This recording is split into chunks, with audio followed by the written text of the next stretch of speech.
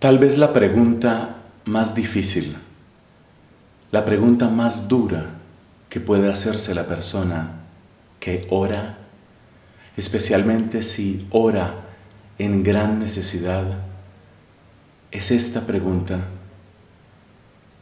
Si hay un Dios que me escucha, si le importan mis palabras a alguien, por hacer una comparación casi infantil, es como el que levanta el teléfono y no oye nada y no sabe si el teléfono está desconectado o no sabe si hay otra persona que pueda recibir sus palabras. ¿Hay alguien ahí? ¿Hay alguien que quiera y que pueda escucharme? Esa es la gran pregunta que nos acecha cuando hacemos oración. Y es la pregunta que deja respondida el hermoso texto del profeta Malaquías en la primera lectura de hoy, fiesta de la presentación del Señor. Muy pronto, dice Malaquías, muy pronto entrará en el santuario el Señor a quien vosotros esperáis el Señor a quien deseáis. El deseado, el esperado. Aquel que queríamos saber si estaba, si nos escuchaba.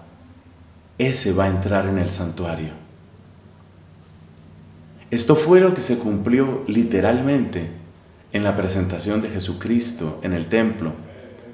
Llega Cristo al templo y entra, entra llevado en brazos de sus padres, entra para cumplir con la ley de Moisés.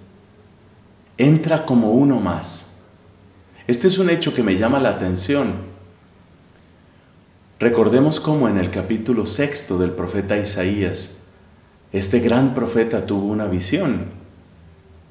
Él pudo contemplar cómo el ruedo del manto de Dios se dejaba ver en ese templo y el solo ruedo del manto llenaba todo el templo. Es decir, era un Dios inmenso, inconmensurable, un Dios santo. La visión de Malaquías es diferente. Es el Dios que entra en el santuario es el Dios que toma el camino, toma la puerta que han tomado durante siglos los que hacen oración en ese lugar. Es decir, es el Dios que acompaña al pueblo, que peregrina y que ruega y que espera y que sufre. El Dios que, hace, que se hace presente ahí el Dios que nos acompaña en medio de nuestras angustias se deja ver. Y eso es Jesucristo precisamente. Por eso su otro nombre es Dios con nosotros. El Dios que recorre nuestros caminos, que entra por nuestras puertas. El Dios que quiso incluso hacerse oración para marcar también un camino a nuestra oración.